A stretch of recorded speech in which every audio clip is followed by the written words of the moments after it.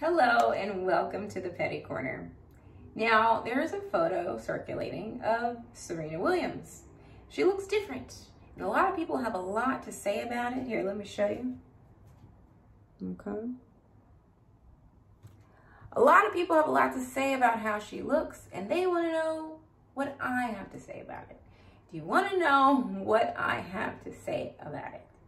Not a damn thing, okay? Because I've seen Serena Williams, right? Like I've seen her arms, I've seen her biceps, I've seen her legs, I've seen her hands. I mean, you know, that's not a little hand, right? So I don't want it with Serena Williams. So I don't have anything to say. I think there's a lot of reasons why she could have looked that light that day. It could have been, you know, foundation um, that was wrong. She ordered the wrong one. She put it on. She didn't know.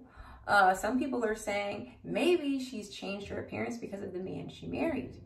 Now, I don't think that he is telling her what to do. I'm sorry, I just don't get that impression. I know Serena plays tennis. She is the best, but she could be playing football. She could be like a boxer.